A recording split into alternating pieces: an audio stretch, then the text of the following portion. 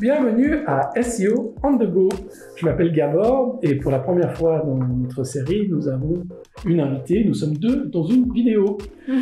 Alors, pourquoi j'ai invité Elisa aujourd'hui dans ce show? C'est parce qu'on m'a demandé récemment, est-il encore utile de bloguer? Pourquoi est-ce qu'il faut avoir du marketing de contenu? Pourquoi il faut avoir du contenu? Bah, Je pense que la meilleure façon de répondre à ces questions, c'est de faire un petit exemple. Et on va faire l'hypothèse suivante, c'est que Elisa une entreprise de chauffage et climatisation, et moi aussi. Donc toi, tu as un site web avec une dizaine de pages, et moi aussi, j'ai un site web d'une dizaine de pages. Et afin de, d'illustrer ce que, ça- à quoi ça sert le marketing de contenu, je vais te poser la question suivante, c'est à quelle fréquence blogues-tu Alors, environ chaque deux semaines.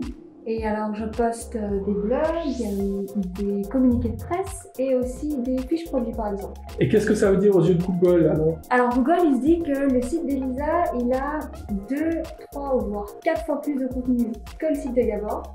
Du coup, on montre que j'ai plus de fraîcheur et que mon contenu peut être plus pertinent pour des recherches. D'accord, donc l'algorithme de Google va voir qu'au bout d'une année, tu auras trois fois plus de contenu que moi. Et en plus que ce contenu, c'est pas que d'une manière quantitative, mais il y a aussi un critère de fraîcheur qui rentre en compte. Donc ça veut dire que ça, ton site web sera plus pertinent que le mien, bien qu'on ait commencé au même niveau. Oui. Et je crois qu'au travers de cet exemple, bah, on a répondu à la question de pourquoi il faut bloguer, pourquoi il faut une stratégie de marketing de contenu, ce qu'on appelle aussi une stratégie euh, éditoriale. Ça, c'est des points très importants pour votre euh, SEO, pour votre référencement naturel.